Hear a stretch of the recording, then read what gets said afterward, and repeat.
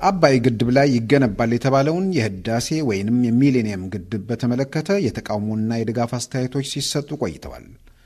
በግድቡ ዙሪያ ጥልቀት ያለው ጽሑፍ በማቅረብ ተቃውሟቸውን ከገለጹት ውስጥ አንዱ ዶክተር ጌታቸው በጋሻው ናቸው። The Mega Nile Dam and the Millennium Bond በሚል ርዕስ ባቀረቡ ጽሑፍ ያነሱትን ትችት ተከትሎ አቶ መለስ በጉዳዩ ላይ ማብራሪያ ሰጥተዋል።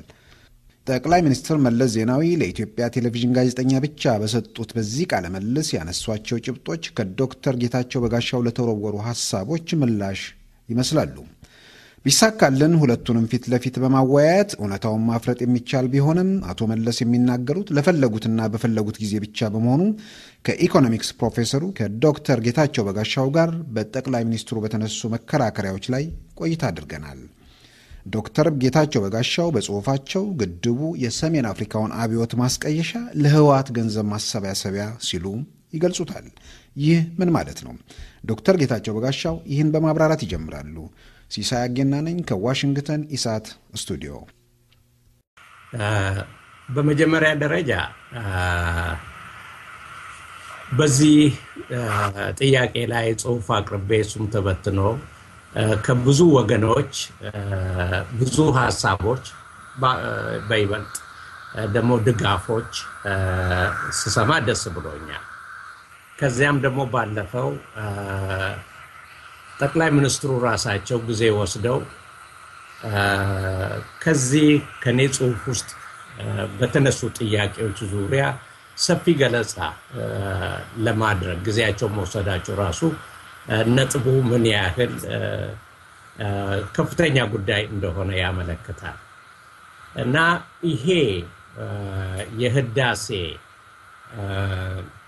ግድብ የሚባለው ነገር እውነተኛ ፕሮጀክት ከሆነ ትልቅ አገራዊ ጉዳይ ነው እና አሁንም ሰፊ ውይይት በዚህ አካባቢ ወይም በዚህ ዙሪያ ላይ መደረግ አለበት እና የእናንተም ይሄ ግብዣ ከዚህ አንጻር ጥሩ ይመስለኛል። እንግዲህ ይሄ አሁን በዚህ መንግስት የቀረበው በዚህ በቤኒሻንጉል አካባቢ በሚደረገው በሚሰራው ግድብ አማካይነት ከአፍሪካ ትልቁ ግድብ የሃይድሮ ወይም የውሃ የመብራት ኃይል ማመንጫ 5250 ኪሎ ዋትስ የሚያወጣ በዓለም ደግሞ አስረኛ የሚሆን ግድብ የተባለው እውነት ከምር ከሆነ ብዙ ሊያነጋግረን ይገባል። ይህንም በሚመለከት ካሁን በፊት የቀረቡ ብዙ ጥናቶች አሉ። በቀዳማዊ ኃይለሥላሴ ጊዜ አባይን ገድበን እንዴት ለመጠቀም ይቻላል ተብሎ ብዙ ጥናቶች ተደርገዋል። በደርግ ጊዜም ተደርገዋል። ነፃ የራሳቸውንም ምርምር ያደረጉ አሉ። አንዳንዱ አባይን መገደብ ለኢትዮጵያ ላይጠቅም ይችላል ብሎም ሀሳብ የሰጡ ወይም ጥናቶቻቸው ያንን ያሳዩ አሉ። አባይን አራት ቦታዎች ላይ በትናንሽ ብንገድብ የተሻለ ይሆናል ብለው የሰጡ አሉ። ይሄ እንደውም በአሜሪካም ደረጃ የተለያዩ የአሜሪካ ተቋሞች በዚህ እነኚህ ጥናቶች ዙሪያ የተባበሩባቸው ሁኔታዎች አሉ እና አሁን እንግዲህ ይህ በሚባልበት ጊዜ ደግሞ እኔም በበኩሌ በሌሎች የአፍሪካ አገሮች የተሰሩትን ግድቦች ስቃኝ ነበር የተደረጉባቸው ጥናቶች እና የተገኙትን ግኝቶች እና በአጠቃላይ የአባይ ጉዳይ ትልቅ አንደኛ ብሔራዊ ነው፣ ሁለተኛ አካባቢያዊ ነው፣ ሶስተኛ ዓለም አቀፋዊ ነው። አባይ ከኢትዮጵያ ይነሳ እንጂ ሱዳንን አቋርቶ እስከ ግብፅ ድረስ የሚሄድ ነው። በዓለም አቀፍ ደንብ ደግሞ እነኚህ ተፋሳሽ አገሮች ያሏቸው ድርሻዎችና የሚያገናኟቸው የሚገናኙባቸው ሁኔታዎች በዓለም ሕግ የተጠቀሱ ናቸው። ስለዚህ እንደ ቀላል ጉዳይ የሚታይ አይደለም። ዶክተር ጌታቸው ይቅርታ አድርጉልኝና እርስዎ አሁንም ግድቡን በተመለከተ መንግስት ይህንን የአባይ ግድብን በተመለከተ በትክክል ይሄን ነገር ከልብ አቅዶት አይደለም ከመጣበት የወቅቱ ሁኔታ ማምለጫ ነው ብለው ያስቀመጡት እና ይችኛዋን part ግልጽ ቢያደርጉልኝ። እሺ አደርጋለሁ። ለዚህ ነው አሁን ሰፋ አድርጌ የጀመርኩት። እንግዲህ የአባይ ጉዳይ ቀላል ጉዳይ አይደለም እና ይሄ ቀላል ጉዳይ ባልሆነ ነገር ላይ ብዙ ሀገራዊ ምክክሮች በህዝብ ደረጃ፣ በፓርላማ ደረጃ፣ በሊቃውንት ደረጃ በሙያው በተሳተፉት በሙያው እውቀት ባላቸው ደረጃ ሰፊ ውይይት ሊደረግበት የሚገባውና ይደረግ ወይም ይሄ ግድብ መሰራቱ ለኢትዮጵያ ይጠቅማል ተብሎ ከታመነ የኢትዮጵያ ሕዝብ ሙሉ በሙሉ የሚደግፍበትና የሚደግፈውና አብሮት የሚቆምበትን ሁኔታ ማረጋገጥ ያስፈልጋል። አሁን ጠቅላይ ሚኒስትሩ በዚህ በሰጡት መግለጫ እንኳ ያሉ በምስጢርነት ተይዞ ነው እንጂ ቀደም አድርገን አጥንተን የተወያየንበትና የወሰንነው ነው ነው ያሉት። ይህን የምናረጋግጥበት ምንም መንገድ የለም።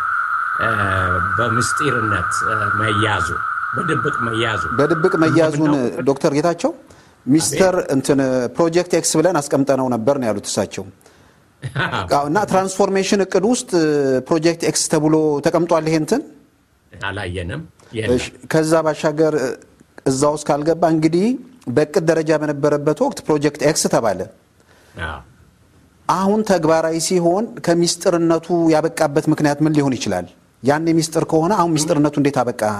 ምንም ይሄ ነው ግልጽ የማይሆንበት እና ከአሁን በፊት እኔም ያልኩት እና ሌሎች ጸሐፊዎችም በተለያዩ ሚዲያዎች ላይ ገልጸውታል።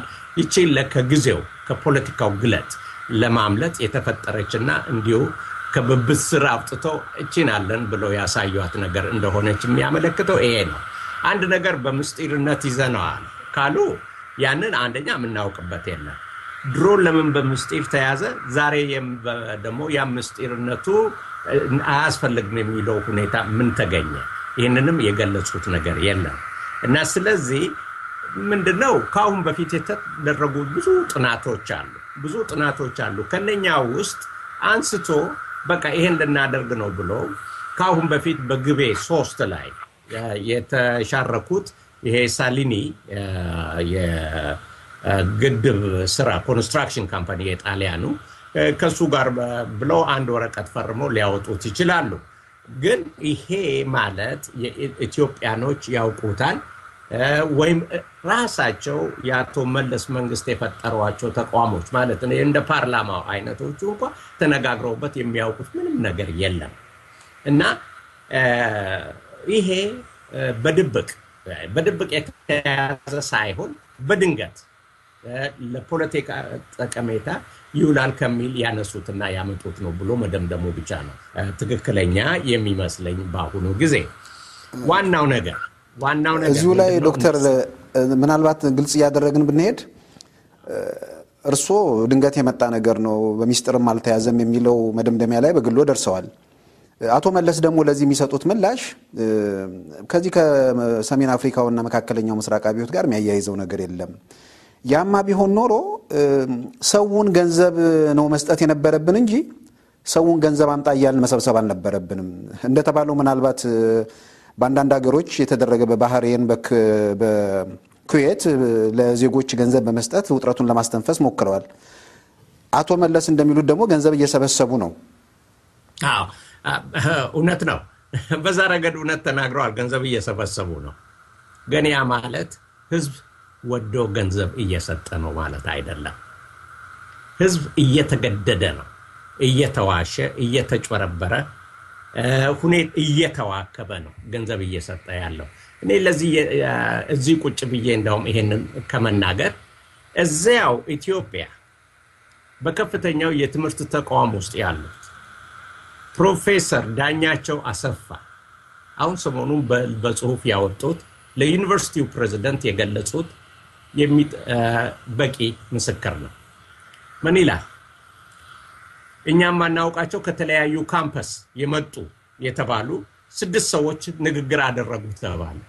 እንደዚህ በቃ ይሄን የህዳሴውን ግድብ ለመደገፍ ወይንም ስለሱ ለመወያይ ስብሰባ ተጠራና እነኚህ ስድስት ሰዎች እዛ ስድስት ኪሎ ወይም አዲስ አበባ ዩኒቨርሲቲ ውስጥ ያሉት የማያውቋቸው ከሌሎቹ ቦታዎች ወኪሎች ነው የመጡት ንግግር አደረጉ።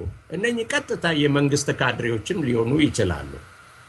እነሱ ንግግር ያደረጉት በቃ እንደግፈዋለን፣ ይህን እንወደዋለን እና የወር ደመወዛችንን እንሰጣለን አሉ እና እነኚህ ሲጨርሱ የዩኒቨርሲቲው ፕሬዚደንት ይነሱና በቃ ምንም ሌላ የተሰጠ ሀሳብ የለም፣ እነኚህ ስድስቱ ናቸው የተናገሩ፣ ያ ደግሞ የሁላችንን ሀሳብ ይጠቀልላልና ሁላችንም የወር ደመወዛችንን እንሰጣለን ብሎ እንዳለ በዩኒቨርሲቲ መምህራን ላይ ተጫነ።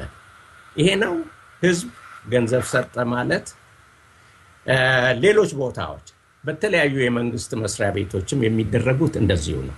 እሱ ሁሉ ቀርቶ በአዲስ አበባ ከተማ እድሮች እድሮች በእድር ደረጃ እየተካሄደ እያዋከቡና እያስፈራሩ ህዝብ በዚህ አካባቢ ይሄኛው እድር ይሄን ያህል ሺህ ወር ይሄን ያህል ሚሊዮን ይሄኛው እንደዚህ ያለ ይሄ እኮ የምናውቀው ድሮ ደርግ የሚያደርጋቸው ነገሮች ናቸው። እዚህ አካባቢ በዚህ ነገር እንዲህ ለማድረግ ይሄ አካባቢ የዚህ ቀጠና የዚህ ይሄን ያላዋጣ ይሄን ድጋፍ ገለጸ፣ ሰላማዊ ሰልፍ ወጣ። ያንኑ ነው እንደገና መልሰው ህዝብን እያደነቆሩ ያሉት እንጂ ዛሬ የአዲስ አበባ ህዝብ በጣም በከፍተኛ ችግር ላይ ነው ያለው። ገንዘቡ ወረቀት ሆኗል እና ገንዘብ በጋሪ እየተገፋ ካልሄደ በስተቀር እቃም ለመግዛት የማይቻልበት ደረጃ በተደረሰበት ሁኔታ ደሞዛቸው ደግሞ ያን ያህል ባላደገበት ሁኔታ ዛ ከዛ በላይ አልፈው ለአባይ ግድብ የወር ደሞዛችን እንሰጣለን ማለት በህዝብ ቁስል የማሾፍ ወይም በዛ ላይ እንጨት የመስደድ ያህል ነው። አይ የሚባሉትን ነገሮች ሰምቻለሁ። ምንድነው ድሮ አባይ አፈራችንና ዛፎቻችን እየያዘ ይሄድ ነበረ። አሁን ደግሞ መጥቶ ደሞዛችንንም ጨምሮ ይዞ መሄድ ጀመራሉ። ይሄ ነው የሚገልጸው የአዲስ አበባን ህዝብ ብሶትና እይታ በዚህ ነገር ላይ እና ይሄ ዝም ብሎ የማደናገሪያ ሚዲያዎቹ በሙሉ እነሱ የሚቆጣጠሩት ናቸው እና በዛ የሚያሳዩት ዘፈኖችን፣ ድለቃዎችን ያሳዩ ቻቸው ከቦታ ቦታ እየሄዱ ህዝብን እየሰበሰቡ የተንጣጣ ንግግር ቢያደርጉ ጉዳዩ ህዝብ ደገፈው የሚያሰኝ አይደለም። የአባይ ጉዳይ ሲነሳ ለማንኛውም ኢትዮጵያዊ ልቡን የሚነካ ጉዳይ ነው። ብሔራዊ ኩራት፣ ብሔራዊ መታወቂያና አይደንቲቲ አድርጎ ይመለከተዋል የኢትዮጵያ ህዝብ አባይን እና የዚህን የአባይ ጉዳይ ካነሳን ህዝቡን በሙሉ ወደ አንድነት ለማምጠማን ነው ለማጭበርበር ሀሳቡን ከምንም ላይ ለማንሳት እና እኛ አባይን ልንገድብልህ ነው እስካሁን ድረስ ኃይለስላሴ ያልቻሉትን ደርግ ያልቻለውን እኛ ልናደርግ ነው በምንልበት ጊዜ ሰፊ ህዝባዊ ድጋፍ እናገኛለን የሚል የፖለቲካ ቅመራ ነው። ለዚህ ነው እና አሁን ሌሎች ነገሮችን መመልከት ትቶ ህዝብ ድጋፍ ይቀጥላል ነው። ይሄ ደግሞ ፉርሽ ነው። በቀደም ዕለት ሰኞ ዕለት እኮ ነው አይደለም እንዴ ታክሲዎች የተቃውሞ ሰልፍ ላይ ወይም የስራ ማቆም አድማ ያደረጉት የለም። ችግር እየመጣ ነው። እያጭበረበሩ ሁል ጊዜ መኖር ምንም የተለመደ ነገር ነው። ሌላኛው እቺ የገንዘብ ጉዳይ የገንዘብ መሰብሰብ በዛ በኩል ብቻ አይደለም፣ ዛሬ ብቻ አይደለም።